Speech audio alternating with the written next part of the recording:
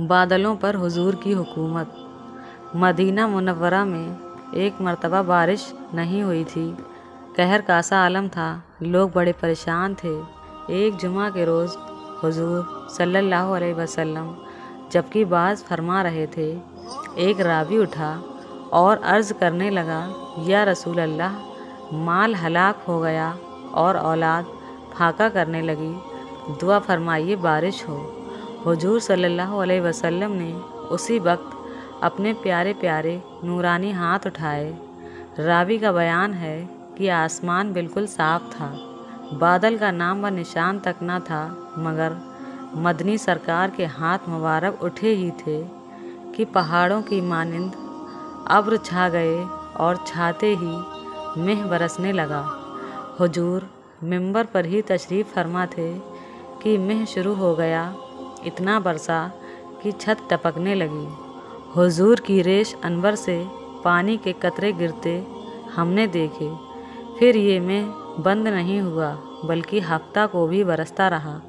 फिर अगले दिन भी और फिर उससे अगले दिन भी हती कि लगातार अगले जुमा तक बरसता ही रहा।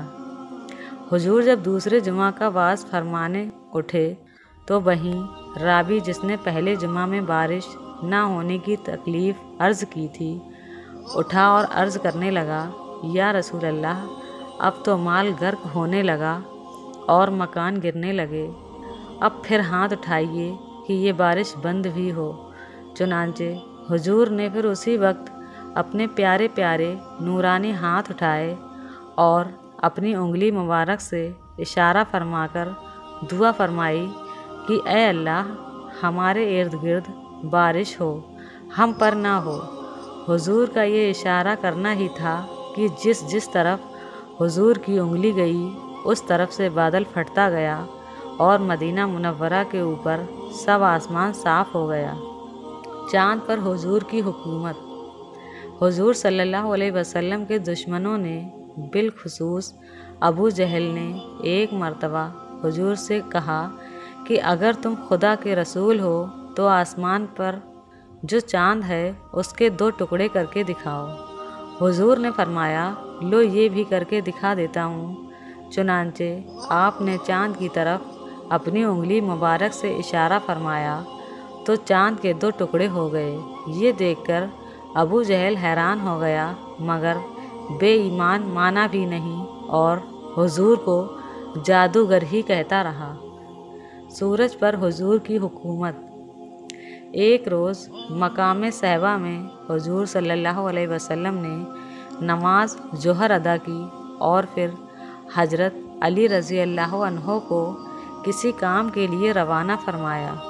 हज़रत अली रज़ी अल्लाह के वापस आने तक हुजूर सल्लल्लाहु अलैहि वसल्लम ने नमाज़ असर भी अदा फरमा ली। जब हज़रत अली वापस आए तो उनकी आगोश में अपना सर रखकर हुजूर सो गए। हज़रत अली ने अभी तक नमाज़ असर अदा ना की थी।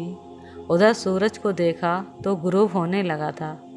हज़रत अली सोचने लगे, इधर रसूल खुदा आराम फरमा है और उधर नमाज़ खुदा का वक्त हो रहा है।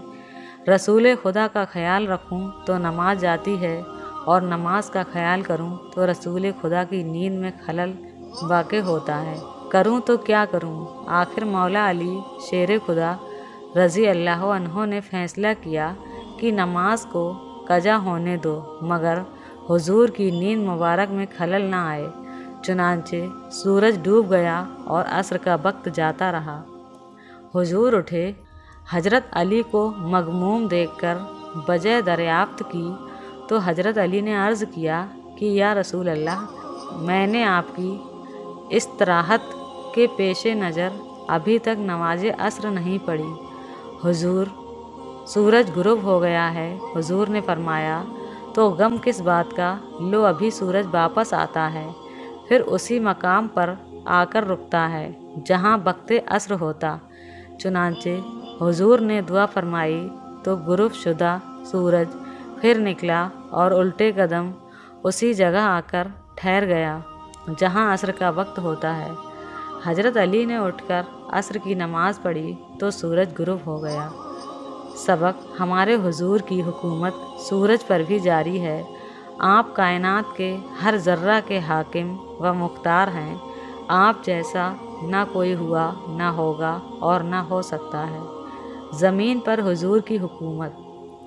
हुजूर सल्लल्लाहु अलैहि वसल्लम ने हज़रत सिद्दीक़ अकबर रज़ी अल्लाह की मैयत में जब मक्का से हिजरत फरमाई तो क्रैश मक्का ने ऐलान किया कि जो कोई मोहम्मद सल्लल्लाहु अलैहि वसल्लम और उसके साथी सिद्दीक़ अकबर रज़ी अल्लाह अन्हो को गिरफ़्तार करके लाएगा, उसे सौ ऊँट इनाम में दिए जाएँगे। सुराका बिन जाशम ने यह ऐलान सुना तो अपना तेज़ रफ्तार घोड़ा निकाला और उस पर बैठकर कहने लगा कि मेरा ये तेज़ रफ्तार घोड़ा मोहम्मद और अबू बकर का पीछा कर लेगा। मैं अभी उन दोनों को पकड़ कर लाता हूँ। चुनाचे, उसने अपने घोड़े को दौड़ाया। थोड़ी देर में हुजूर के करीब पहुँच गया। सिद्दीक़ अकबर ने जब देखा कि सुराका घोड़े पर सवार हमारे पीछे आ रहा है, हम तक पहुँचने ही वाला है तो अर्ज़ किया, या रसूल अल्लाह सुराका ने हमें देख लिया है और वो देखिए, हमारे पीछे आ रहा है। हुजूर ने फरमाया ए सिद्दीक, कोई फ़िक्र ना करो, अल्लाह हमारे साथ है। इतने में सुराका बिल्कुल करीब आ गया। तो हुजूर ने दुआ फरमाई, ज़मीन ने फ़ौर सुराका के घोड़े को पकड़ लिया और उसके चारों पैर पेट तक ज़मीन में धस गए। सुराका ये मंज़र देखकर घबराया और अर्ज़ करने लगा, या मोहम्मद, मुझे और मेरे घोड़े को इस मुसीबत से नजात दिलाइए। मैं आपसे वादा करता हूँ कि मैं पीछे मुड़ जाऊँगा। जो कोई आपका पीछा करता हुआ आपकी तलाश में इधर आ रहा होगा, उसे भी वापस ले जाऊँगा। आप तक न आने दूँगा। चुनाचे हुजूर के हुक्म से ज़मीन ने उसे छोड़ दिया। सबक, हमारे हुजूर का हुक्म व फरमान ज़मीन पर भी जारी है और कायनात की हर चीज़ अल्लाह ने हुजूर के ताबे कर दिया है। दरख्तों पर हुजूर की हुकूमत। एक मर्तबा, एक रावी ने हुजूर सल्लल्लाहु अलैहि वसल्लम से कहा ए मोहम्मद, अगर आप अल्लाह के रसूल हैं तो कोई निशानी दिखाइए। हुजूर ने फरमाया अच्छा तो देखो, वो जो सामने दरख्त खड़ा है, उसे जाकर इतना कह दो कि तुम्हें अल्लाह का रसूल बुलाता है। चुनानचे वो रावी उस दरख्त के पास गया और उससे कहा तुम्हें अल्लाह का रसूल बुलाता है।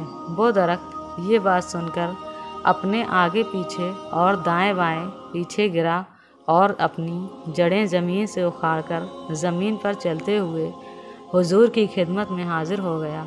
अर्ज़ करने लगा असलकुम या रसूल अल्लाह वो रावी हुजूर से कहने लगा, अब इसे हुक्म दीजिए कि ये फिर अपनी जगह पर चला जाए। चुनानचे हुजूर ने उससे फरमाया कि जाओ, वापस चले जाओ। वो दरख्त ये सुनकर पीछे मुड़ गया और अपनी जगह जाकर कायम हो गया। रावी ये मुआजा देखकर मुसलमान हो गया और हुजूर को सजदा करने की इजाज़त चाही। हुजूर ने फरमाया, सजदा करना जायज़ नहीं। फिर उसने हुजूर के हाथ पैर मुबारक चूमने की इजाज़त चाही। तो हुजूर ने फरमाया हाँ ये बात जायज़ है। उसने हुजूर के हाथ और पैर मुबारक चूम लिए। सबक, हमारे हुजूर का हुक्म दरख्तों पर भी जारी है। ये भी मालूम हुआ कि बुज़ुर्गों के हाथ पैर चूमने जायज़ हैं। हुजूर सल्लल्लाहु अलैहि वसल्लम ने इससे मना नहीं फरमाया।